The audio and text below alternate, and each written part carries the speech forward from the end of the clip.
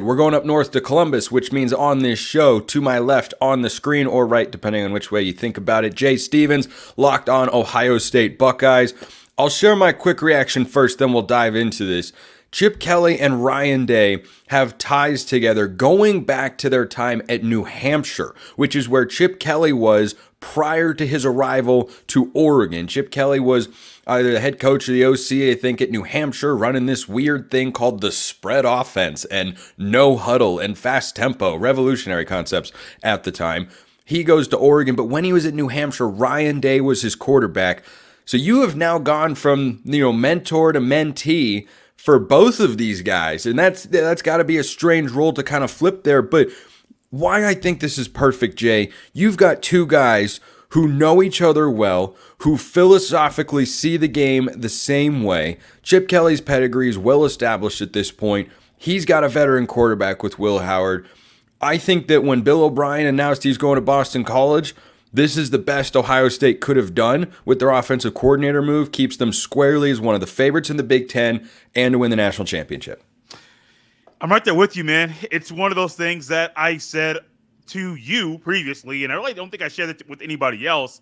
I kind of was thinking this should have happened a few weeks ago. You mentioned that tie there, but I also believe that Day and Chip Kelly coached together when Day became a coach. So you had coach and quarterback, then coach and coach, and now coach and coach once again. Before the first time, Ryan Day's the boss, not Chip Kelly. So I'm curious how that dynamic is going to go.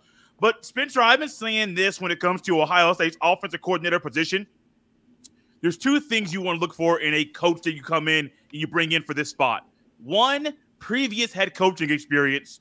Two, a guy who has who is a well-established play caller in e- NFL or college football. Bill O'Brien was that. Chip Kelly is that. So you had two guys, two candidates that fit that description.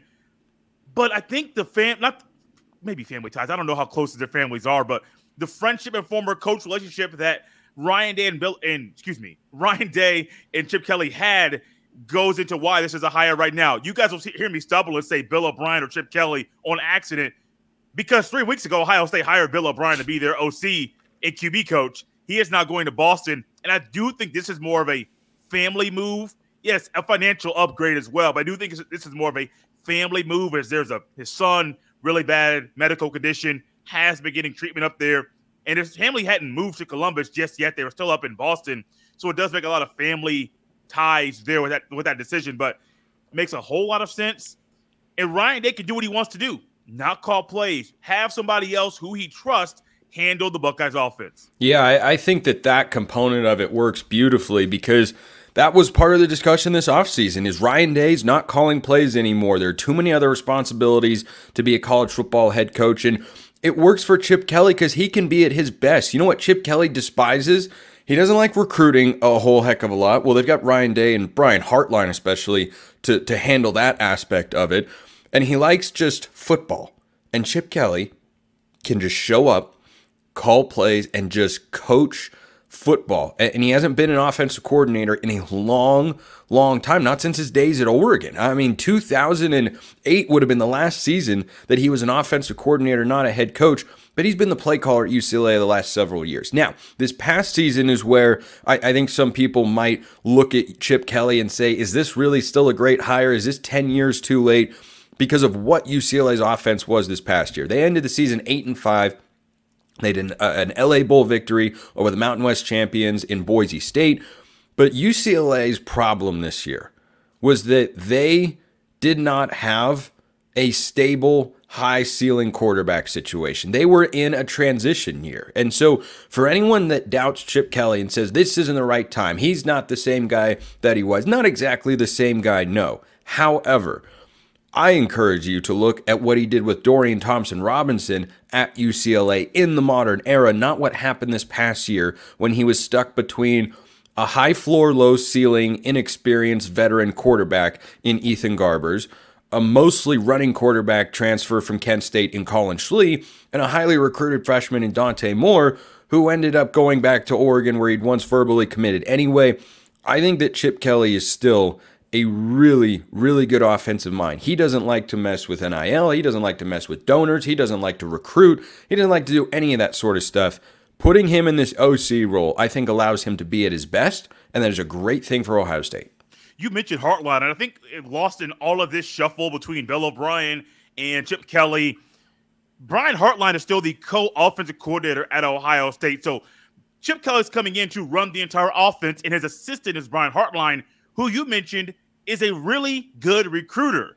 But Ryan Day has well established himself as being somebody who's not afraid to spend the time that is needed on the road, driving around Ohio or in the airplane to get the recruits that Ohio State needs to have on their roster. So for Chip Kelly to be simply a football guy and not want the other stuff, there are people on Ohio State's current coaching staff that can do those things for him. But as long as here's my thing. I like Chip Kelly, really good coach.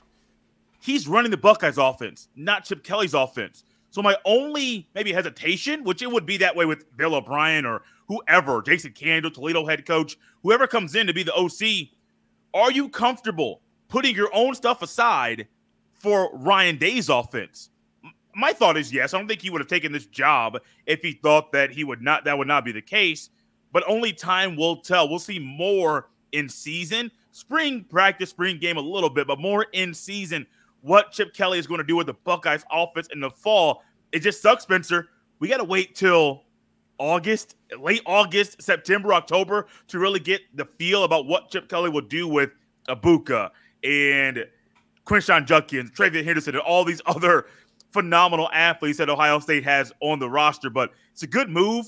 It does help impact Brian Hartline because Chip Kelly could use this to get a different job, another head coaching job, and also help groom Brian Hartline to be the offensive coordinator by himself for Ohio State in the future.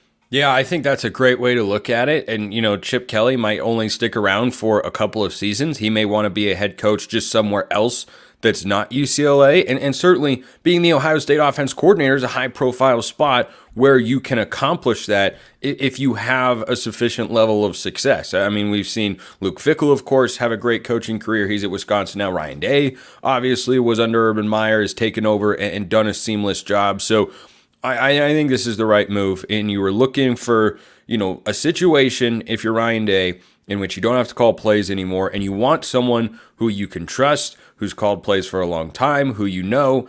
I, I think this lines up really, really well. And I think that the, the Brian Hartline and just Ohio State factor in general kind of neutralized Chip Kelly's biggest weakness, which is, well, he didn't really love to recruit. That's not what he does. Let everybody else worry about player and talent acquisition. They got a whole staff of people to go out and recruit and make pitches and everything like that. And just let Chip Kelly show up, scheme an offense, call plays. I think that works in a really, really big way. And I think this is the best move Ohio State could have made for their offensive coordinator job. Jay Stephens, locked on Buckeyes. Thanks so much for stopping by, Jay. Really enjoyed this, man. Got to do it again. Abso freaking lootly.